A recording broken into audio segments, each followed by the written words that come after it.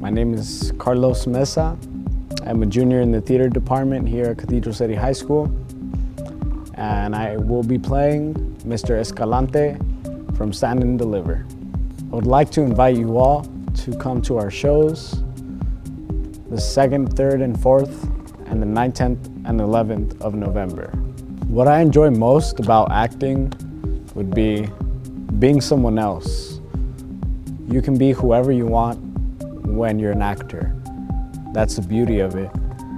And just, just taking a whole new character and just making it your own and just having fun with it. I think people should support the arts because first off, it's something other than academics and it's a whole new world to just explore and find out more things.